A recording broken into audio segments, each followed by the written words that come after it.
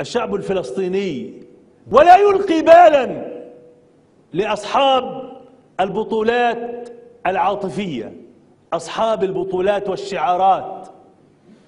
سبحان الله شعارات حين تسمعها تظن أن أصحابها قد باتوا في قلب المسجد الأقصى المحرر بعد أن حرروه لتكتشف أنهم إنما يبيعون الوهم ويتاجرون بالمعاناة وأكثر من ذلك وأجري على الله ويتاجرون بالدماء.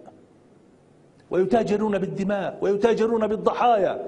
اذهبوا أيها الفلسطينيون يا شعبنا اذهب فمت لكي أخرج على الفضائيات وعلى وسائل الإعلام لألقي بيانا شديد اللهجة.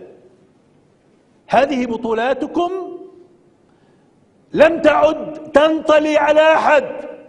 ها هو الشعب الفلسطيني ينحاز إلى منظمة التحرير الفلسطينية.